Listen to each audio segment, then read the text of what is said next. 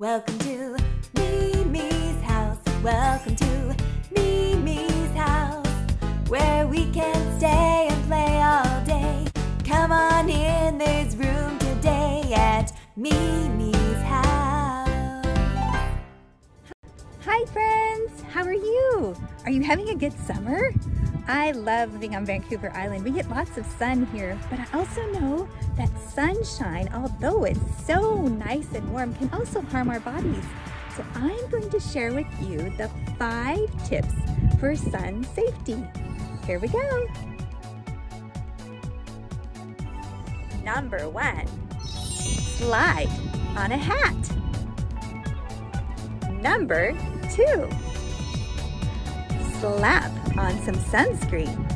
Sunscreen helps to keep your skin safe from the sun's rays.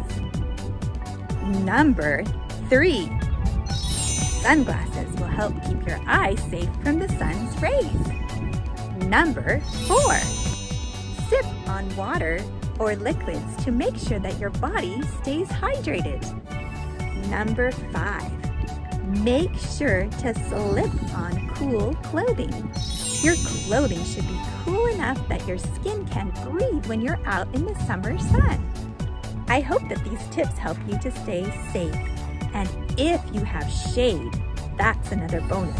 Find some shade to stay in periodically during the day. That will help to keep you cool. I hope you guys have a great summer and enjoy the sun. Now you are sun smart too.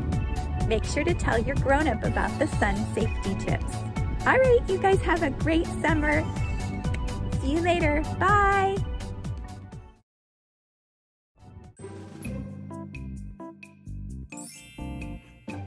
Summer starts with the letter S. So does seashell, sandwich, sock, starfish, sand dollar, sandals, and sunglasses. Those are all summer words that start with the letter S. What other summer words do you know that start with the letter S? Very good. The letter S, it has a sound, kind of like a snake. Yes, snake starts with the letter S too. Good job, you guys. The letter